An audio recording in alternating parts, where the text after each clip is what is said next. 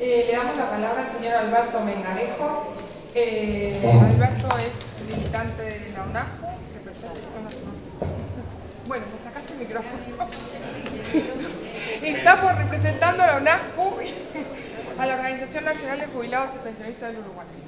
Muy bien, bueno, buenos días a todas y todos. Eh, queremos agradecernos al invitado a nuestro parecer. Lo vamos a hacer en el sentido de una de las cuestiones que planteaba Ernesto, de cómo unimos la academia, es necesario, pero además cómo unimos eh, los conocimientos y los saberes que son fundamentales a los sentimientos o a los sentidos, porque son los sentidos en última instancia lo que hacen a las relaciones sociales. Por suerte además, este, decía somos críticos, y verdad que sí, eh, ni me conformo ni me adapto.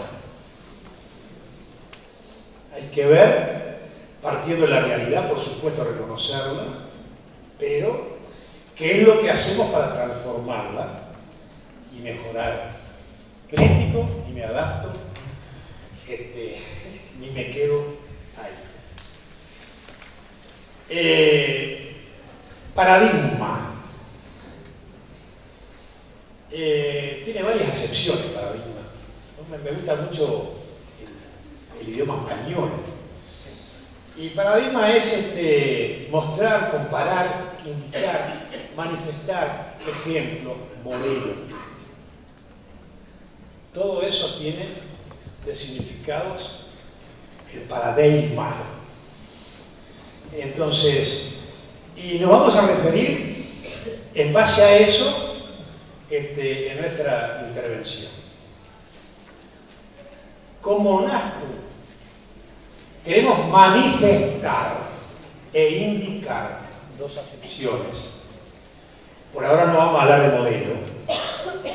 Algunos problemas de la realidad por la que atraviesa el mundo de los mayores. Y algunos puntos sustanciales de su programa. Y el primer problema que tenemos como trabajadores jubilados seguimos siendo trabajadores. Este, es algunas formas de plantear el mundo del trabajo y al trabajador, porque son parte en de una visión antropológica, filosófica, ideológica, política y ético-cultural que el sistema nos ha metido en la cabeza y que tiene que ver después con eh, las condiciones o la salida del mundo del trabajo para la jubilación. Miren, señores, a mí no me hablen de mercado de trabajo. El trabajo no es mercadería. No me hablen de recursos humanos. El ser humano no es un recurso. Y el ser humano es un recurso para el modelo que tenemos hoy vigente en el mundo. Pero no para nuestra visión. Es otra cosa el trabajo. No es un recurso el, trabajador. Pero bueno, eh, ¿qué otros problemas tiene o vemos? La baja visibilidad que tiene el adulto mayor o el viejo o la vieja. Yo no tengo ningún problema que me digan viejo. A mí que no me adornen el lenguaje. Antes no había problema con la palabra viejo vieja. Es ahora. ¿Por qué? Preguntémonos por qué poco involucramiento de los medios este, que hay en el país, salvo para generar alarma. Hay varias alarmas que hoy se plantearon acá. ¿Cuál va a ser, por ejemplo, la relación activo-pasivo dentro de unos cuantos años? Eh, una edad socialmente problematizada. Eh, vemos que hay una comparación negativa de la sociedad hacia lo viejo incluido nosotros. Eso tiene sus consecuencias, además, entre tantas consecuencias psicológicas, fisiológicas y que derivan también en espirituales. Hoy se habla de soledades, pero otra un montón de cosas este, que caen en lo espiritual. El envejecimiento mostrado, volvemos al paradigma, mostrado, mostrado como problema actual y peor para el futuro. La baja natalidad, la elevación del promedio de vida, la relación activo-pasivo, mayor consumo de medicamentos, etcétera, etcétera. A nivel nacional, hay algunos personajes o personeros de la academia y, de lo político también, que están de acuerdo con el ministro de Salud de Japón, eh, que aspira, lo ha dicho, lo ha dicho, a que cuando los trabajadores lleguen a la edad de jubilarse debiera morirse. Porque los que quedan trabajando no tienen que pagar impuestos para que otros vivan sin trabajar. Además, los viejos se enferman más seguido y son más caros.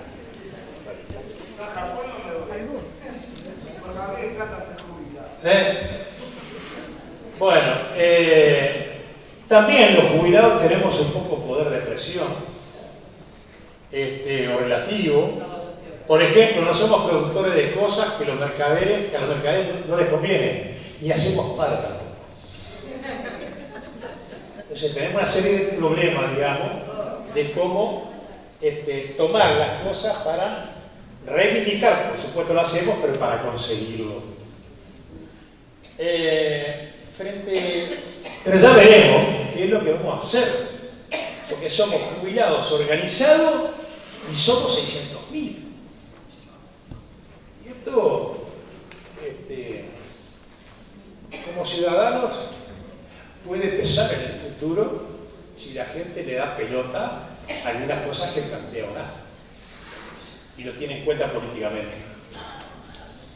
Bueno, pero frente a esa realidad, ¿qué aspiramos personal y colectivamente como nada?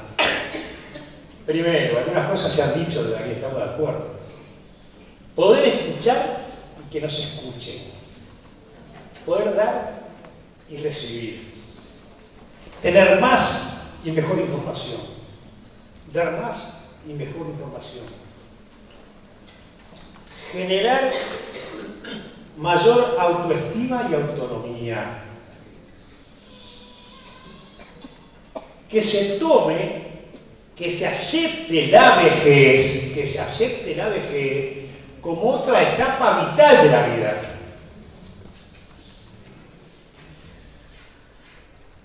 Porque pareciera ser cuando llegamos a viejo, como los trapos, los tiramos.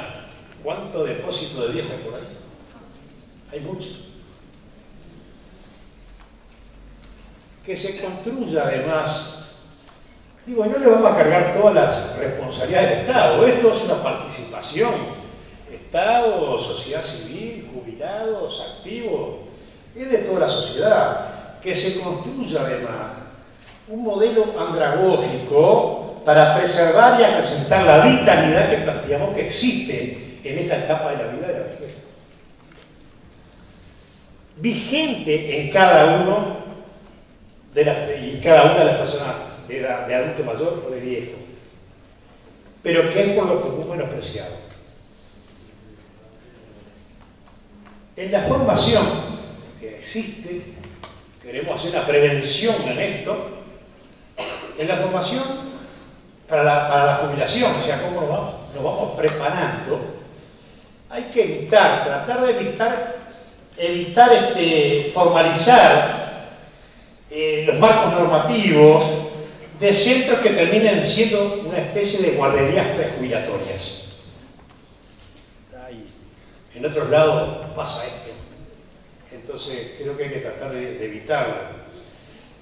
Eh, reivindicamos además en el Lego Social hace unos 5 o 6 años con la Domarcino, participaba justamente, hay una cosa que se resolvió en aquel momento, era la formación de, los adultos mayores.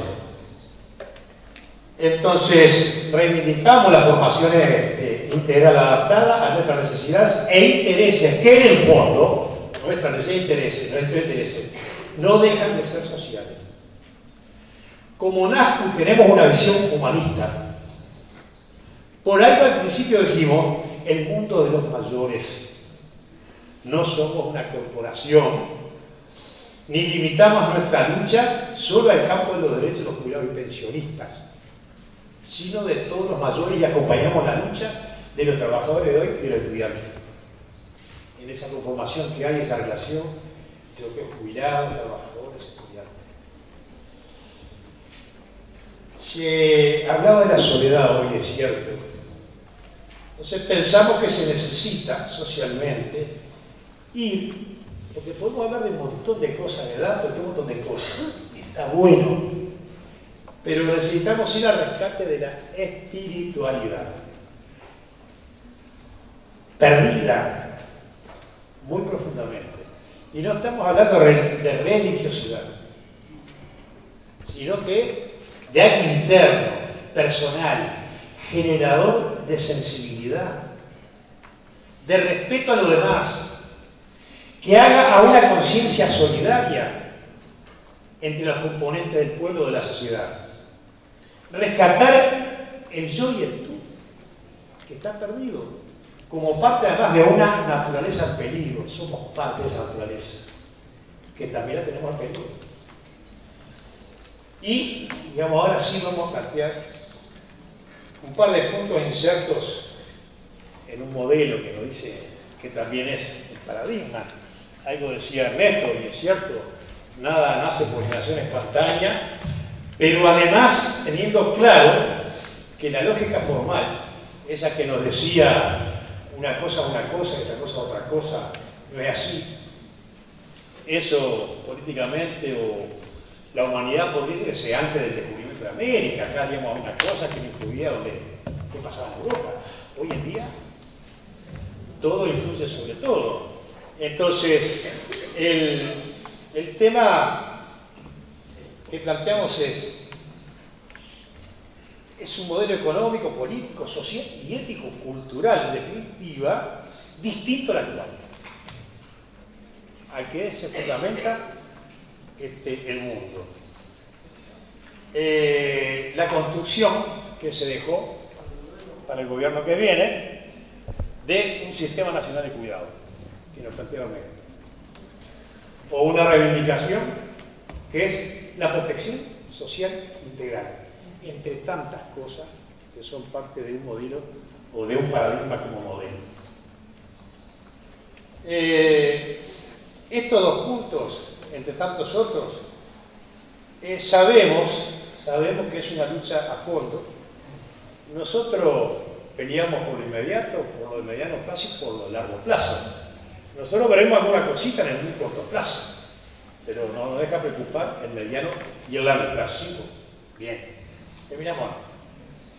Eh, es una lucha a fondo, ya que hay que sacudirse de encima el puro arbitrio del mercado en que está metida la humanidad. Toda la actividad, la lucha pasa inexorablemente yo a veces uno, porque lo que tiene, lo que tiene el lenguaje, ¿no? Uno, siente de, la lucha contra la pobreza, pero no siente a los que hablan de eso desde el poder decir, no, no, no, no, la cosa pasa por la lucha, por combatir los mecanismos que hacen a la producción social de la riqueza. Es una cosa y creo que todas estas cosas estamos inmersos como, como viejos. Entonces, la lucha pasa inexorablemente para combatir los mecanismos que hacen a la conservación de la riqueza. Hoy se habla de enfermedades mentales. Todos los modelos económicos han tenido sus enfermedades específicas. Este modelo económico que vive una enfermedad específica y va preparando a los trabajadores de hoy para las condiciones de vida cuando estén jubilados, son las enfermedades mentales. Este modelo trae aparejado las enfermedades mentales en el mundo del trabajo. No negamos, por supuesto, el mercado, pero no caemos en la afirmación de que no hay que molestarlo ni con las cosas más nobles de la justicia social. y su paralelo de que no hay que intencionar la historia. Eso es lo que nos dice el modelo. Por suerte acá escapamos en un montón de cosas. Pero cuidado, hay gente, hay gente acá, gente que piensa en esto. Por el contrario, es tarea de todas y cada uno de nosotros que quiera cambios, que piense en otro mundo posible, intencionar la historia y la economía. Todos los días hacían políticas que construyan protección, que preserven los derechos fundamentales del ser humano. Entre ellos todos los viejos. Para ello es necesario una cosa que que no se discute en esto, es necesario ver cómo están siendo aplicadas las nuevas, la ciencia y las nuevas tecnologías, con qué responsabilidad con la sociedad están siendo aplicadas. Eh, nadie escapa a esto porque están siendo utilizadas para dominar al mundo fundamentalmente, no todo, ciencia y tecnología que está haciendo bien al mundo, pero hay gran parte que no, que está haciendo la explotación del mundo, de las cosas y de la gente. Porque yo quiero mucho a Pepe lo quiero pila. Ahora que nos esté de acuerdo con Cristina Lagarde, directora del Fondo Monetario Internacional, en cuanto al tema de la, de la tecnología, por supuesto, de la productividad, uno piensa, bueno, yo pongo un ejemplo, yo era testigo, o era testigo. Hace 20 años una fábrica tenía 700 trabajadores. Hoy tiene 70. Hace 20 años producían 1000 esos 700. No hubiera arbitrario, por supuesto. Producían mil. Hoy, con el 10% personal, produce dos mil. Entonces, ¿dónde está el resultado de esa ecuación? ¿Dónde está? Produciendo mucho más, mucha mayor productividad, mucha mayor producción. ¿Dónde está ese resultado? Estamos mucho mejor los trabajadores de hace, yo qué sé, 50 eh, años atrás, textiles estoy hablando, este, que hoy en día, que ya no existen casi las textiles además, pero. Entonces, eh, esto porque en distintos momentos de la historia eh, se inventaron la rueda, la reja del arado, la máquina de vapor, llegamos hasta la nanotecnología hoy en día. Este, todo trajo mayor productividad de producción. Cada vez hubo mayor pluralía. pero cada vez esa mayor pluralía está siendo apropiada cada vez en menos manos. Y eso hace la redistribución de la riqueza y también hace los puestos de trabajo. a los puestos de trabajo. Y esto último a la relación entre trabajador activo y pasivo, que es una de las preocupaciones centrales hacia el futuro. Hay que ver redistribuir las fuentes, los puestos de trabajo. Cambiar esta realidad no será fácil, ya que vivimos en una especie de dictadura mundial del mercado, donde la compatibilidad, si en algún momento la hubo, entre capitalismo y democracia, aparece como un sofisma cada vez más claro. Ahí tenemos la vieja junta capitalista y democrática Europa. Adiós, chao a la Carta Social Europea. Chao a la protección social que existía en Europa. Ha mejorado todo eso. Va a más todavía. Para una democracia mucho más que elegir representantes. Pasa también por lo económico, lo político y lo social y hacia eso queremos ir, en el modelo que queremos. Y por eso luchamos. Las políticas públicas necesarias se desprenden de los problemas y, el los paradigmas planteados. No es otro lado. Y finalizamos diciendo, estamos de acuerdo con aquel que dijo no sé quién fue, que la política no es, la política no es solo el, tema del arte de lo posible, no, no, que la política el arte de hacer posible lo necesario. Gracias.